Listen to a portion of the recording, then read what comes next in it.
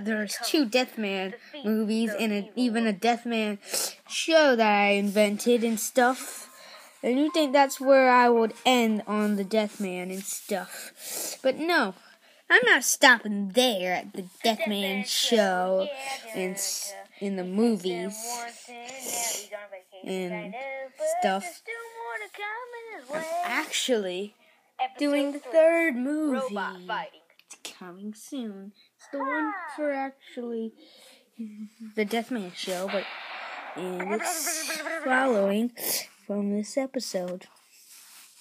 Now you should watch this episode to know. The Deathman show. And really, now you'll know why when it ends, it ends with one month later, and it says the end.